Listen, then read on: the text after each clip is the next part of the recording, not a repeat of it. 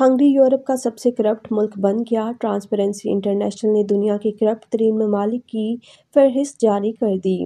Hungary और Belgium के दरमियान करप्शन और दीगर कानूनी मामला पर तनाज़ा जारी है, जिसकी वजह से हंगरी के अरबों यूरो के असासे मंजमंद कर दिए गए।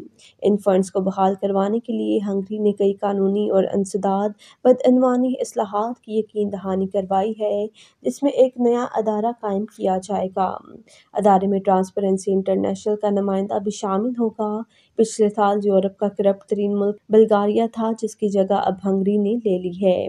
रिपोर्ट में कहा गया है कि एक दहाई से जमहूरी रवायात की तंजली और हुक्मरान जमायत की तरफ़ से कानून की हुक्मरानी की खराबी ने हंगरी को इस हाल में पहुँचाया है। ट्रांसपेरेंसी इंटरनेशनल ने कहा है कि सियासी अशराफिया के खिलाफ मुल्की और यूरोपीय यूनियन के फंड्स के गलत इस्तेमाल की शवाहद मौजूद हैं।